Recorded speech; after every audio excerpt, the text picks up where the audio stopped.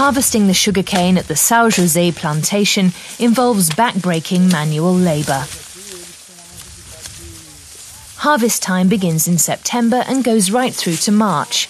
The tropical climate in northeast Brazil means that there are up to four harvest cycles a year.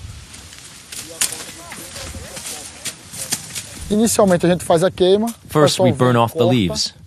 The workers cut the sugar cane, top and bottom where there's no sugar. Two, three weeks later, we return and burn the rest. The plantation covers 16,000 hectares, so workers have to use vehicles to monitor the sugarcane. 800,000 tons of biomass are produced here every year. The local sugar and ethanol plant buys it up.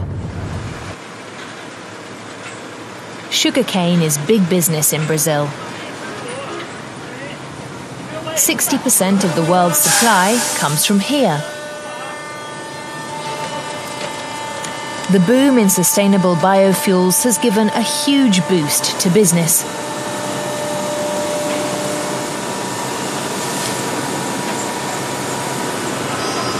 The process of gaining the ethanol is relatively simple. A mechanical press crushes the plants to extract the liquid. Director José Barbosa shows us what's left over. This steaming mass is known as bagaça, traditionally considered a waste product. It gets burned in huge incinerators like this one. The process provides electricity and heating for the plant, but more than a third of the bagaça is converted directly into CO2. Bagaça is not actually that suitable for burning. It's very damp and first has to be left for days to dry out.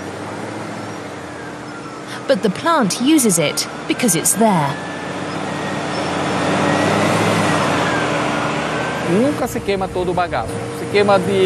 We don't burn all the bagaça, only 85 to 90%.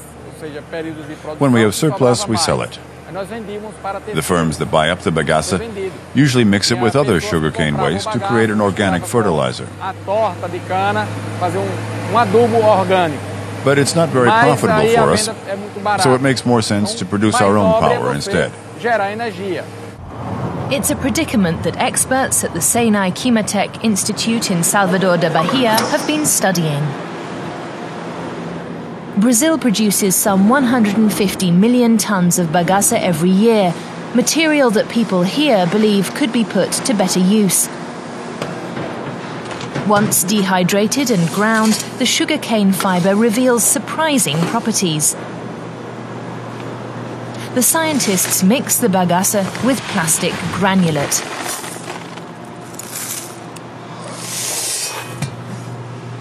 They want to prove that bagasse is a valuable substance and change its reputation in Brazil and, if possible, beyond. Far from being a waste product, they say it could provide a key building block for composite plastics.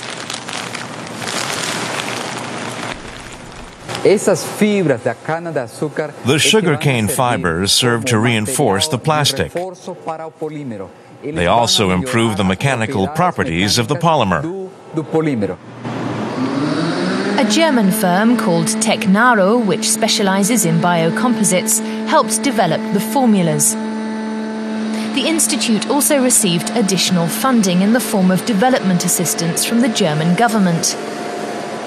Now, using standard industrial machinery, the scientists are creating entirely new products.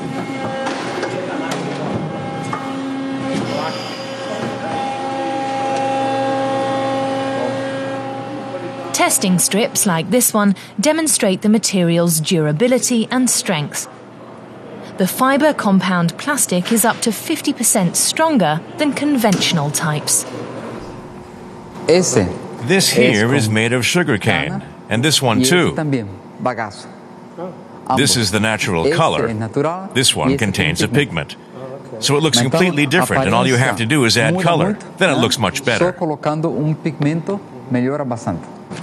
Scientists in Bahia have long sought to use local raw materials such as sisal or coconut for manufacturing polymers, but Institute Director Leona Andrade says their focus has changed. Sugarcane in particular has one decisive advantage over other fibers. It's available throughout the entire country. So this new technique could be applied anywhere, unlike with sisal, which is available only in this area. The state of Bahia accounts for only a small part of Brazil's sugarcane production. The bulk of the industry is located further south around Sao Paulo. The new German Brazilian initiative could give a double boost to the region by promoting it as a center for green innovation as well as promoting its sugarcane industry. But news of this valuable new resource has yet to filter down to the man on the street. This vendor is selling freshly squeezed sugarcane juice. But he sees no value in the bagaça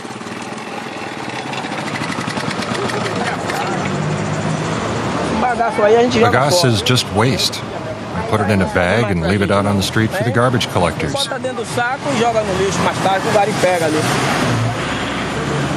Back at the sugar factory in Pinheiro, managers say they plan to continue burning their bagasse, even though it's harmful to the environment. But they are at least building a more efficient incinerator. Para o entendimento da empresa, for our firm, using it to generate power is the most profitable option right now. This energy project is expensive and designed for at least the next 20 years. But perhaps if there's a change in the overall planning or in the processing method for bagasse, then maybe we'll reconsider our policy. Brazil's sugarcane industry is a runaway success but the process of transferring production to more environmentally friendly methods looks set to move forward a little more slowly.